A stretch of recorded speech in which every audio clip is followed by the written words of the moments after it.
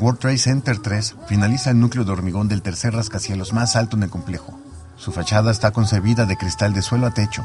Las ocho esquinas de cada piso estarán libres de columnas. La torre consta de un núcleo de hormigón armado con estructura de acero fuera del núcleo y está revestido de un marco de acero estructural externo.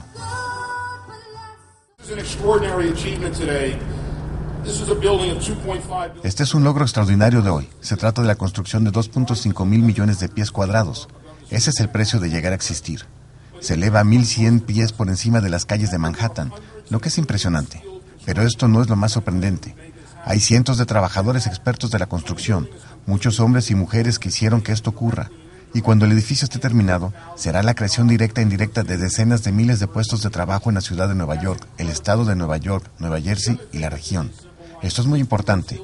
Otra cosa que hoy simboliza es la capacidad de recuperación de esta ciudad, de este estado, de esta región, a raíz de los terribles acontecimientos que mataron a casi 3.000 personas hace casi 15 años, y el trabajo que han contribuido a las estructuras en el sitio y hoy llega al tope del World Trade Center 3, un extraordinario testimonio de la resistencia, la fuerza y el carácter de esta ciudad, de este estado, de esta región y nuestro país.